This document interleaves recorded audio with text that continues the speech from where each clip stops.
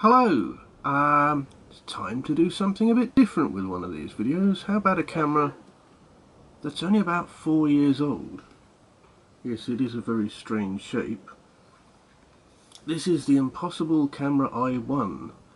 Uh, the origins of this go far goes back as far as 2008 when Polaroid was struggling and a group of Dutch businessmen set up something called the Impossible Project, which is now called Polaroid Originals. And then later, in I think it's 2016, 2017, Polaroid was struggling so badly that they actually started selling off their intellectual property. So the Impossible Project were able to rename themselves Polaroid Originals because they now owned the Polaroid name and uh, they started marketing their own cameras and this is one of them and then there's another one that has come out a bit more recently I think. Now this, like a lot of modern kit, can be controlled with an app and I've been uh, doing some preliminary learning on it in the past few minutes and I have a major issue if you're going to connect a camera to an app and therefore to a screen why not put an extra thing an extra output from it so you can actually see on that screen what the camera can see? But no. Because there are in this app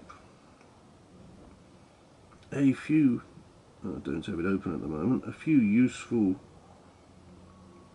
and interesting facilities that are not available directly on the camera.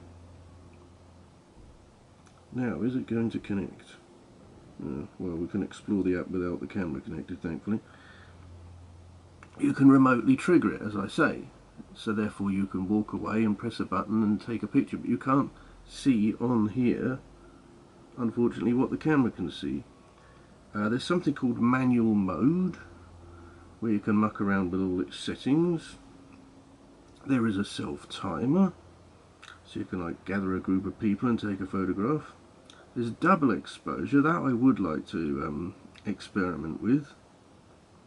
So it manages to put two images on the same piece of film. You can trigger it with noise rather than a button. Uh, you can do uh, an extended exposure so what they call light painting. So you have a a time exposure and you can wave lights around and create things. And there's another version called color painting which just sounds like exactly the same thing. Maybe it contains some processing. Then there's something called scanner. Why why you would use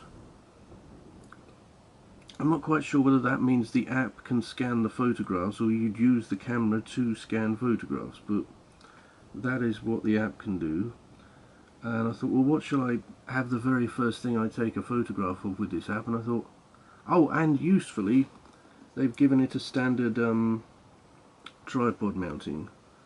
So the very first photo I intend to take with this is to memorialize my lockdown here